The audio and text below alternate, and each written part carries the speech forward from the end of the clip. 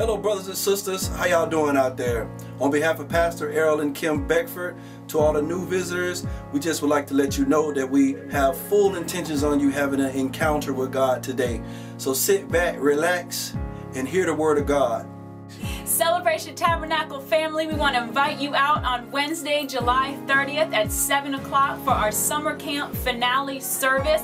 This year was our second annual Celebration Summer Day Camp throughout the summer, and we're celebrating on that night on Wednesday, July 30th. Our children are going to be ministering in dance and in song, and they're going to be showcasing the things that they did in their small groups. We also want to thank the United Way who partnered with us this year and provided the children with tablets for reading program, and they also provided volunteers every Wednesday for a feed and read program, and they were sent the children home with meals and books each Wednesday, and they also provided enough for our youth group and for Children's Church. So we just want to thank the United Way, their volunteers, and all our Celebration Tabernacle family who came out and volunteered, who were dedicated and labored with us all summer long. Thank you.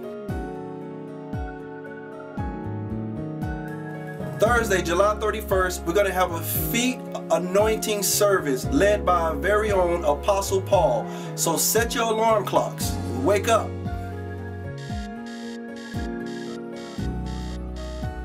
Also led by Apostle Paul, August 1st, we're going to have a men's midnight prayer and deliverance. That's Friday going into Saturday, August 31st. The Bible tells us that Jacob wrestled with the angel at midnight and he reached his destiny. So it's going to be very, very important that you come out that night. Yes, women, send your husband, send your boyfriend, send your son, send your dad. Every time they come home from the men's workshops, they will come home acting right. I'm telling you, I am a witness. Send your men, get them there. Amen, amen. And I'm so excited to announce this you know, as a um, as a the, newly appointed men's leader, you know, this is our first men's conference, man. I'm so excited about it. It's going to be August 22nd and 23rd, Friday night, Saturday night. We're going to have a session at 7 p.m. on Friday.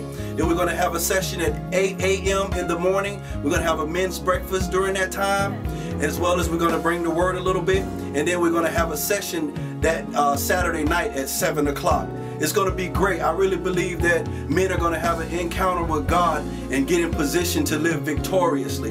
And that's the theme. That's the theme of the conference. Is it's uh, laying a solid foundation for victorious Christian living. Now, who wouldn't want a part of that? Who wouldn't want to come to a conference like that to learn how to lay down a solid foundation for victorious Christian living. The Bible tells us in Psalms 11:3 that if our foundation is not right, what can the righteous do? So it's very pertinent, man, that you be there. Come on out, grab your sons, come on out, grab some, grab a friend, grab somebody that you know to come out to this conference, August 22nd, 23rd, Friday and Saturday. Be there.